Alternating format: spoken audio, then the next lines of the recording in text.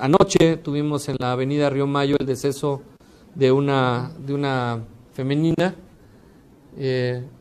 con siete disparos de arma de fuego, calibre 9 milímetros. Es algo que ya está determinado pericialmente. En las primeras diligencias de investigación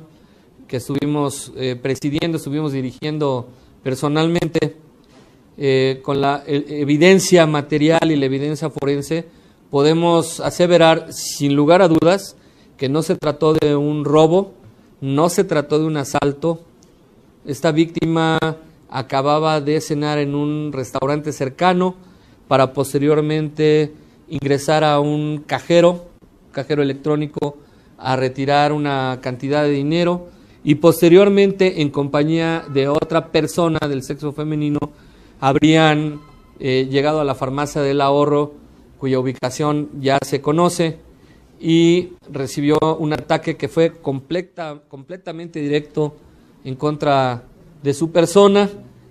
Eh, no se trató de un robo, puesto que sus pertenencias, eh, sus saberes personales estaban en el lugar del, el lugar del hecho,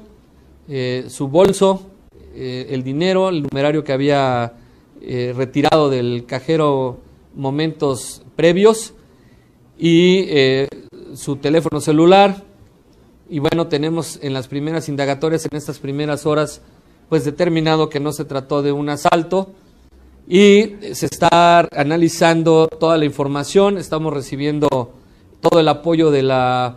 de la Comisión Estatal de Seguridad Pública. En el transcurso de este día entablaré eh, contacto y enlace con el almirante Ortiz Guarneros para trabajar en este asunto de manera coordinada y poder determinar ya de manera jurídica si detrás de este hecho, de este lamentable hecho, hay alguna relación con la delincuencia organizada.